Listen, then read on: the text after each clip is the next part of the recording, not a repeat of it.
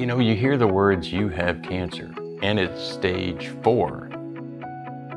The world falls away and you get the tunnel vision and you're like, oh my gosh, what are we gonna do? You know, I asked the question, frankly, hey, am I gonna die from this? Because I wanna know before I go and do the chemo and radiation, because we've all seen it on TV, you lose your hair and everything falls apart. But they came up with the plan. You know, here's what we're going to do. And that sounds like something that would take a month to figure out. They did it in a week.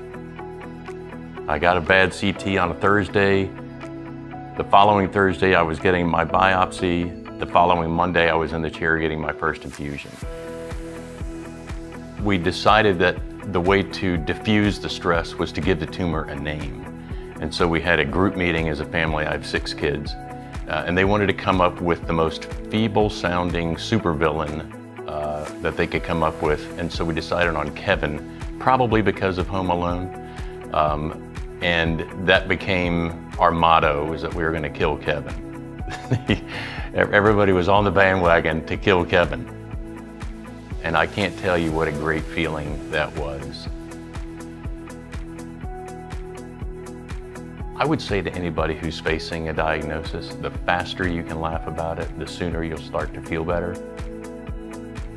The hat that I kept for myself, I took around to all of my uh, providers and everybody was so happy to sign. And some of them did little drawings for the, you know, the area of the uh, hospital that they worked in.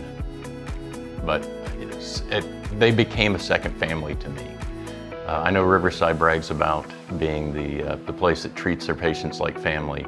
Uh, but it's true. That's, that's how I was treated, and I just felt like my family, I already have a big family, but it got really big uh, because of Kevin.